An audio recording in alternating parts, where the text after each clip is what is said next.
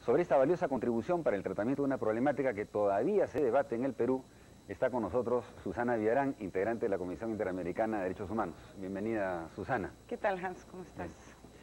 Bueno, este trabajo lo emprendieron ustedes casi exactamente un año, si no me equivoco, el 12 de diciembre. yo llegué a la comisión cuando ya estaba uno de los últimos borradores en discusión. Eh, pude participar de la discusión final de este texto que, como tú has dicho, la presentación es muy importante. Es el primer texto de esta naturaleza que busca poner en relación eh, el terrorismo y los derechos humanos, un tema... Y además busca, fundamentalmente, y lo dice en el prefacio este texto, la Comisión Interamericana lo dice, hay que ir contra esta idea extendida y perversa, a mi juicio, de que eh, para enfrentar exitosamente el terrorismo, tú no tienes más remedio que violar algunos derechos, confiscar algunas garantías. Cuando es exactamente al revés. Todo lo. Pero espérate, primero cuéntanos un poquito sobre este proceso, porque tengo entendido que sí ha sido un proceso además este, participativo, alguna medida, o sea, han habido... Es un, es un mandato de la Asamblea de la OEA. Le pide a la Comisión Interamericana de Derechos Humanos en el 2001 que se aboque al estudio eh, del, fenómeno del terrorismo y que plantee lo que eh, se dice en el artículo 15 de la Convención contra el Terrorismo firmada, entre otros estados, por, el Perú, eh, que dice que el enfrentamiento del terrorismo y todas las medidas que se tomen no deben ser en menoscabo de las garantías y derechos fundamentales. Entonces, sobre ese tema le manda. Y se hace un proceso de un año de expertos donde aportan también los estados, las ONGs, en fin, muy participativo, muy rico. Y lo que tienen en las manos los estados hoy día es un instrumento útil para no cometer los errores que aquí en el Perú sabemos que se cometen o se han cometido en el enfrentamiento al terrorismo. El propósito del informe es facilitar la tarea de los estados. Claro, es, parte del mandato que tiene la comisión, que es asesorar y servir a los estados en materia de derechos humanos. Eso es parte de lo que la comisión tiene que hacer. Además es un informe de plena actualidad, porque como dice el mismo documento, es decir, el terrorismo se ha incrementado tanto cuantitativa como cualitativamente, constituye en la actualidad... Hoy día pues tienen medios que hemos visto, ¿no es cierto? Medios tecnológicos, eh, enjambres financieros, lavado de dinero, narcotráfico vinculado al terrorismo, en fin, es, es un fenómeno complejo, en expansión, y tiene que ser enfrentado con eficacia. O sea, los estados tienen la obligación de proteger a la población, a sus ciudadanos y ciudadanas, de este flagelo del terrorismo. Ahora, lo tienen que hacer dentro del marco del respeto de garantías, y esto no es una camisa de fuerza. Claro, pero no hay una definición internacionalmente adoptada, digamos, en relación a Aquí en el texto, en este informe, no se da una definición, eh, porque no nos parece central que sea una definición de terrorismo. Se recoge la definición de Naciones Unidas, actos criminales, ¿no es cierto?, cometidos por personas motivadas por razones eh, de carácter ideológico, religioso o político que tienen como objetivo infundir terror en la población y que son injustificados. Política, ideológica, religiosa, étnica o racialmente, no tienen justificación.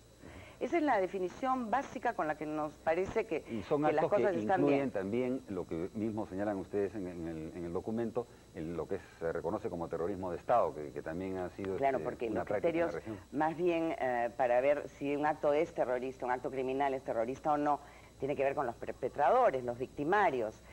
Pueden ser eh, individuos particulares, grupos independientes, pero pueden ser estados.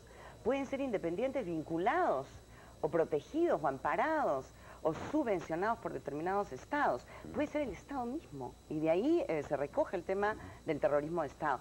También tiene que ver con las víctimas.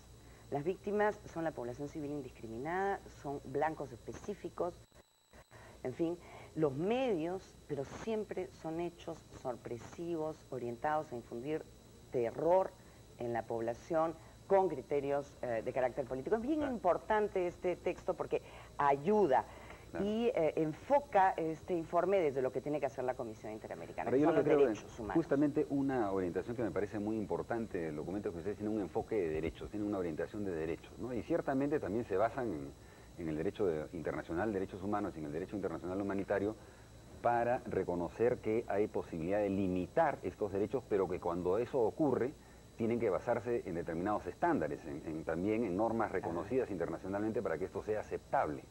E, es un instrumento útil en relación a lo que tú me preguntas. Habla de eh, la violencia terrorista en situaciones de paz, en situaciones de emergencia, en situaciones de conflicto armado. y eh, enfrenta esto desde el punto de vista del derecho internacional de los derechos humanos, la declaración, los pactos, la Convención Americana, etcétera, y del derecho internacional humanitario, que son las convenciones de Ginebra del 49 y los protocolos adicionales, que se llama el derecho internacional humanitario. Ya sea en situaciones de paz, de emergencia o de conflicto armado, qué garantías fundamentales tienen que haber, derecho a la vida, a la integridad física, al juicio justo, a las garantías judiciales, a la libertad de expresión, etcétera. Y eh, da recomendaciones en cada uno de estos casos. Entonces es un, eh, realmente no un socotroco, como se puede ver en las cámaras, sino es un instrumento utilísimo para los estados hoy día de manera de enfrentar, repito por tercera vez, exitosamente este tema. Es una cuestión clave la que acabas de señalar porque, claro, como se dice también, la obligación de combatir al, terrorismo, digamos, tiene una larga data. Ustedes hacen una referencia en el año 1937, incluso antes de que existieran las Naciones Unidas, pero se remontan bastante más allá.